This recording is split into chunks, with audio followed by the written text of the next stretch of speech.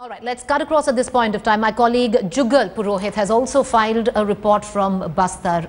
He is covering a constituency which doesn't want to vote. Listen why.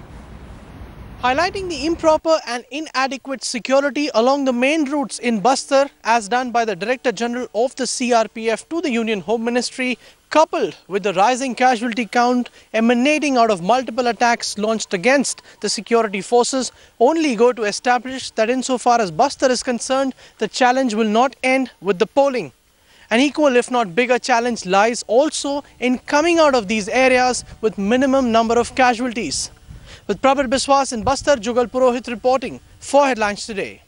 We are at the campaign headquarters of the Aam Aadmi Party in Chandigarh, where the Aam Aadmi Party candidate Gul Panag is meeting with her supporters. Here you can see a large number of people have gathered here at the party office uh, in order to discuss the last minute details before the polling takes place here uh, in Chandigarh. Supporters are being told which polling booth they have to go to. Duties are being assigned. Uh, volunteers are talking to each other, trying to work out last minute uh, logistic arrangements and administrative details. Uh, you, here you can see the Gul Panag is also talking to the volunteers, assigning duties, telling everybody what is to be done.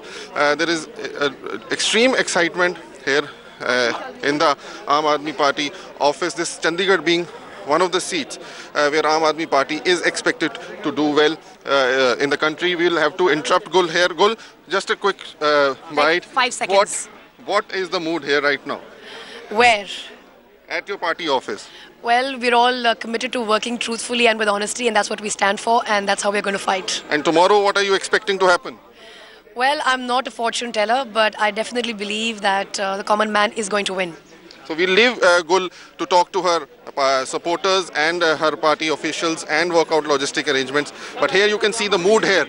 The mood here is definitely of a level of exuberance and Aam Aadmi Party certainly feels that it can do well in Chandigarh. With camera person Dilip Sahu, Man Aman Singh Chhina in Chandigarh for Headlines Today.